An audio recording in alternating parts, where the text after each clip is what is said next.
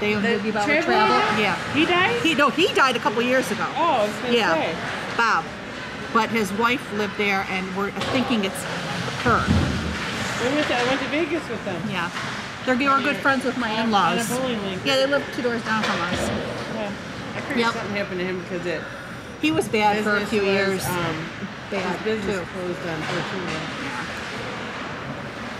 Yeah, I went to. We were on a bowling league with, and we went to um, Sylvia and Bob. Vegas. Yep. with them. I, was, I think Tommy was a couple months